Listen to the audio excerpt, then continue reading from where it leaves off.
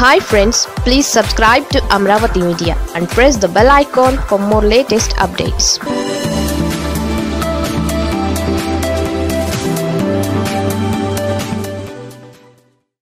టీడీపీలో ఏమిటి పరిస్థితి? టీడీపీ అంటే క్రమశిక్షణకు మారుపేరు ఎన్టీఆర్ పార్టీ స్థాపించిన నాటి నుంచి ఇప్పటి వరకు ఆ క్రమశిక్షణే పార్టీకి ఆయువుపట్టుగా ఉంటుంది. చంద్రబాబు నిర్ణయాలు క్షేత్రస్థాయిలో తూచా తప్పకుండా అమలవుతున్నాయన్నా ఏ పార్టీకి లేని కేడర్ దండుగా ఉందన్నా దానికి కారణం ఈ క్రమశిక్షణే. అయితే ఒకప్పటి కాంగ్రెస్ పార్టీ మాదిరిగానే ఇప్పుడు టీడీపీలోనూ నేతలు ఎవరి దారి వారిదే అన్నట్లుగా వ్యవహరిస్తున్నారు. అధినేతను ఖాతరు చేయకుండా ధిక్కార స్వరాలు వినిపిస్తున్నారు. ఈ పరిస్థితులు చూస్తుంటే పార్టీపై చంద్రబాబు పట్టుకోల్పోతున్నారా అన్న అనుమానాలు వ్యక్తమవుతున్నాయి.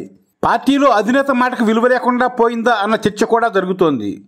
రెండు వేల పంతొమ్మిదిలో ఘోర పరాభవం తర్వాత వరుసగా జరుగుతున్న పరిణామాలు ఈ విషయాలనే రుజువు చేస్తున్నాయి. తాజాగా విజయవాడలో తెలుగుదేశం నేతల కుమ్ములాటతో పార్టీలో అసంతృప్తి ఏ రేంజ్లో ఉందో స్పష్టంగా తేలిపోయింది. చంద్రబాబు అధికారంలో ఉన్నప్పుడు ఇరవై మూడు మంది వైసీపీ ఎమ్మెల్యేలను పార్టీలో చేర్చుకున్నారు. వారిలో కొంతమందికి మంత్రి పదవులు ఆశ చూపించారు. మరికొందరిని స్థానిక సమస్యల బూచి చూపి భయపెట్టి మరీ చేర్చుకున్నారనే అపోహదు ఉంది. కానీ ఇప్పుడు ఆ పరిస్థితి లేదు. వైసీపీ ఎవరికీ ఆహ్వానం పలకడం లేదు.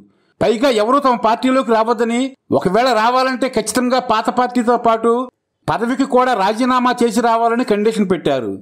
ఈ కండిషన్ కాదనలేక ఇటు టీడీపీతో కలిసి ఉండలేక భవిష్యత్తుపై బెంగతో నలుగురు ఆల్రెడీ గోడ దూకేశారు.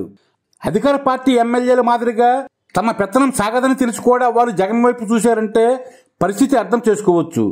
టీడీపీని మునిగిపోయే నవలా భావించారు కాబట్టే ప్రతిఫలం తక్కువగానే ఉన్నా వారంతా ప్లేట్ ఫిరాయించారు. పోని మిగిలిన ఎమ్మెల్యేలైనా చంద్రబాబు కంట్రోల్లో ఉన్నారా అంటే తెలియని పరిస్థితి. ఉత్తరాంధ్రలో విశాఖ ఒక ఉద్యమం జరుగుతుంటే మిగిలిన ముగ్గురు ఎమ్మెల్యేల్లో ఎవరికి వారే ఎమినా తీరే అన్నట్లుగా ఉన్నారు.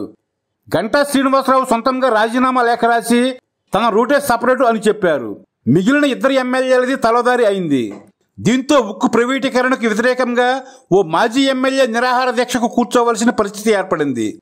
రాయలసీమలో చంద్రబాబుతో పాటు గెలిచిన మరో ఇద్దరు ఎమ్మెల్యేలు బాలకృష్ణ పయ్యావులు కేశవ్. బాలకృష్ణ సినిమాలతో బిజీగా ఉండగా చంద్రబాబు బలవంతంపై ఇటీవలే ఆయన ప్రచారంలోకి దిగి అక్కడి అభ్యర్థులు ఇరకాటంలో పెట్టిన విషయం తెలిసిందే.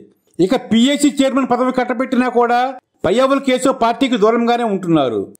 ఇక చంద్రబాబు అధికారంలో ఉండగా మంత్రులుగా చక్రం తిప్పిన వారిలో ఎంతమంది టీడీపీని అంటిపెట్టుకుని ఉన్నారో వేళ్ళపై లెక్క పెట్టవచ్చు.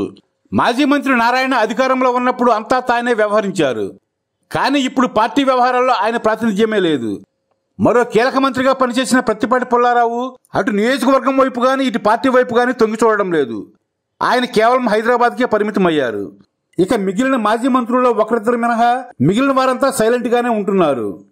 కొద్ది రోజుల క్రితం జందులూరు మాజీ ఎమ్మెల్యే చింతమనేని ప్రభాకర్ తాను బీజేపీ జనసేన అభ్యర్థులకు మద్దతు ఇస్తారని బాహాటంగానే ప్రకటించారు.